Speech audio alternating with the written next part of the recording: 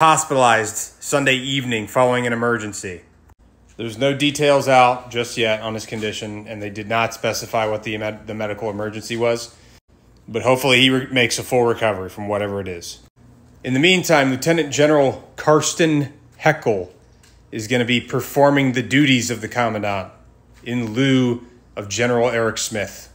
As a matter of fact, he's been doing it since yesterday. For those of you that don't know who this guy is, he is the Deputy Commandant for Combat Development and Integration and the Commanding General of the Marine Corps Combat Development Command.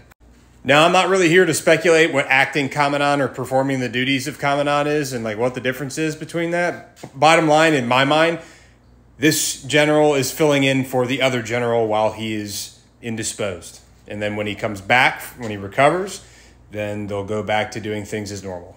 Bottom line is hopefully he makes a good recovery and he gets well from whatever he's dealing with.